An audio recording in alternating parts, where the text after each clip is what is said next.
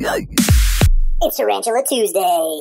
Grammostola pulchra, commonly known as the Brazilian black tarantula, is a New World terrestrial T most famous for its deep black velvet appearance. The Brazilian black comes from Brazil and Uruguay in South America. I say that because the G. pulchra is found in southern Brazil and the G. quirogai is found in northern Uruguay. They are very similar in appearance and nearly indistinguishable to someone without a trained eye. The G. quirogai may have been imported into the hobby as a G. pulchra and sold as the Brazilian black, but there isn't a definitive answer at the moment, and this is a topic for another day that has already been covered by more informed individuals, which I will link in the description. This species is a ground dwelling opportunistic burrower, meaning it will make its burrow under logs, rock overhangs, or in the empty burrows of other animals. Females of this species have lived as long as 30 years in captivity, while the male lifespan tends to be much shorter. There is no sexual dimorphism in color or pattern, with the main noticeable difference being size. So you will need to examine molts to determine sex, or wait till your male develops tibial hooks. Females of this species can grow to 6 or 7 inches in size and are a thick, sturdy looking T. As slings, I keep my G. pulchra in small enclosures at least three times as long as the tarantula's leg span. I provide two or three inches for them to burrow and moisten a part of their substrate at least once a week. As adults, I keep them in a basic terrestrial setup with at least 4 to 6 inches of substrate and more width than height. I keep the substrate dry, provide a water dish and hide, and add a little sphagnum moss for aesthetics. This species' natural environment has temperatures that range from 65 degrees to nearly 80 degrees on average, but I keep mine at a comfortable room temperature between 68 to 74 degrees. This species has a medium to slow growth rate. I received my slings around 3 quarters of an inch, and within 14 months they were nearly 3 inches or more in size. As is common with Ts, the older they get, the less often they will molt, so the slower the growth rate may seem. As far as feeding, I feed my spiderlings over half an inch pre-killed small crickets or roaches twice a week until they refuse food during pre-molt. As they grow over an inch, I provide a small cricket or roach no larger than its abdomen at least twice a week. Once they're juveniles, I will feed them three or four medium crickets at least once a week. And as adults, I usually feed two to three large crickets, sometimes a few more, at least once every couple of weeks depending on the size of the abdomen. This is a pretty laid back tarantula, and for some, the ideal tarantula to hold if you're into that sort of thing. Due to its docile temperament and pleasant demeanor, this makes for a great beginner tarantula. But remember, tarantulas can have different temperaments, so while mine may be chill and laid back, yours may be more skittish and defensive.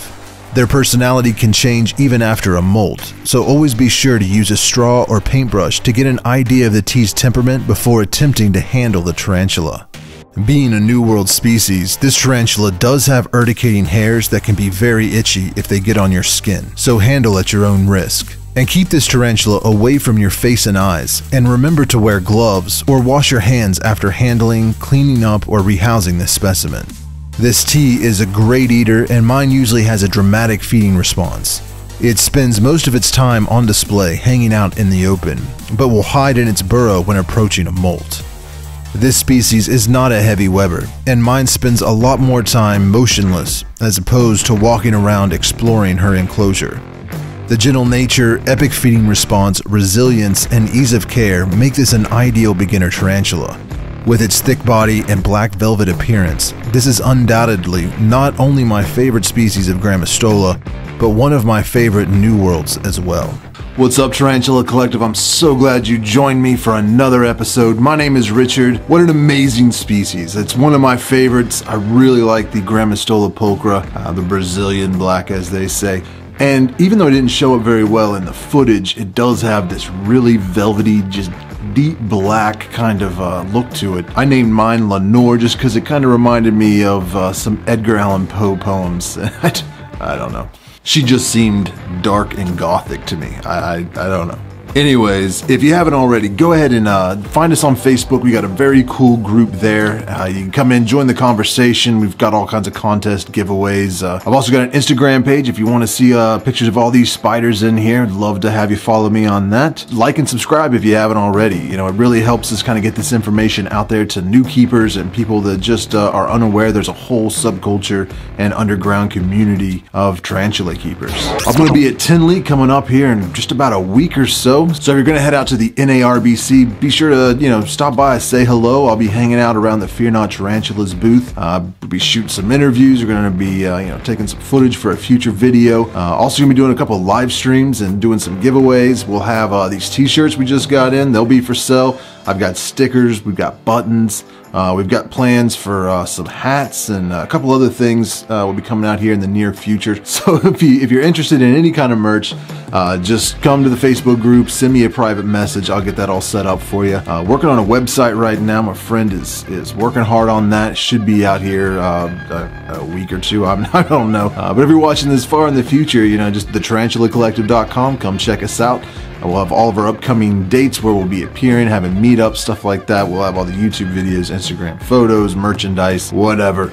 It'll all be there, kind of one centralized location, uh, since we are kind of cross-platform on all these different social media sites. If you got any suggestions for species that you would like to see me cover in the future, be sure to leave those down below in the comments. Uh, I really enjoy reading those. This was actually a suggestion someone gave me a few weeks ago. I am uh, listening to those and taking that into consideration. We'll be doing this every Tuesday for the foreseeable future. So, you know, if you haven't already subscribed, that way you'll get notifications when uh, we release a new one. Already starting on next week's video. I'm pretty excited about it. It's going to be, uh, I think you're going to like it.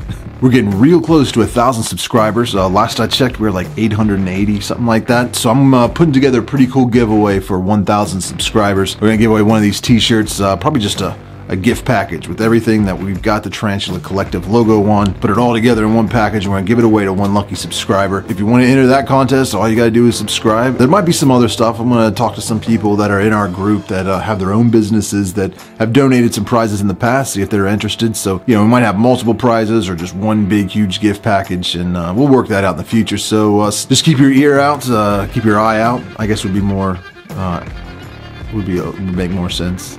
yeah, that would make more sense. I'll be announcing on Instagram, Facebook, YouTube, uh, Tumblr, Twitter, all those things. All right, well, I think that's going to wrap it up for this episode of Tarantula Tuesday. Tune back in next Tuesday to see uh, what species we'll be covering then as well. Uh, if you got any questions, send me a message. I'd love to hear from you. And with all that being said, I've got some tarantulas to feed and uh, it's getting late. I gotta sleep sometime. So I better get out of here. Uh, until next time, I will see you next Tuesday.